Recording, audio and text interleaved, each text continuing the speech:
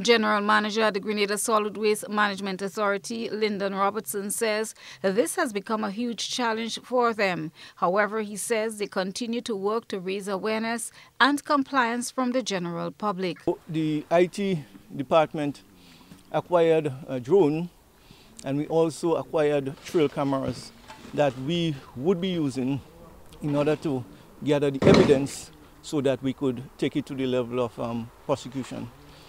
Um, there are some what we call hotspots throughout the country, and we would be setting up these um, monitoring systems at these hotspots.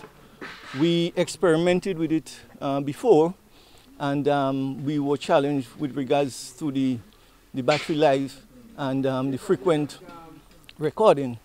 Uh, recently, we acquired the solar units for the continuous um, supply to these uh, cameras. Robertson says no one has been prosecuted. On Friday, the Grenada Solid Waste Management Authority joined forces with members of the constituency, Ministry of Tourism, and contractor for the area, Southern Waste Limited, to clean up garbage dumped along Halifax Bay in Perseverance, St. George. It's part of activities to mark World Environment Day observed on June 5th. Nikolai Boyk, Assistant Public Relations Officer at the Grenada Solid Waste Management Authority says World Environment Day is not only about raising awareness on how we impact the environment, but also a call to action.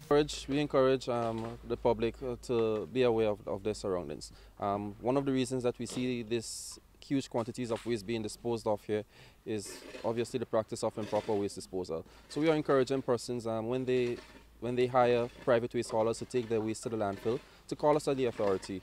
Um, just give us a call and we will tell you what time the truck came into the landfill, what day the truck came into the landfill, and how much weight, what was the weight of the waste disposed of at the landfill. So that way you know that, yes, you paid someone to bring your waste to the landfill and it was delivered to the landfill. So we encourage persons to feel free, give us a call and tell us the truck that is coming and we will, and we will give you the information that you require.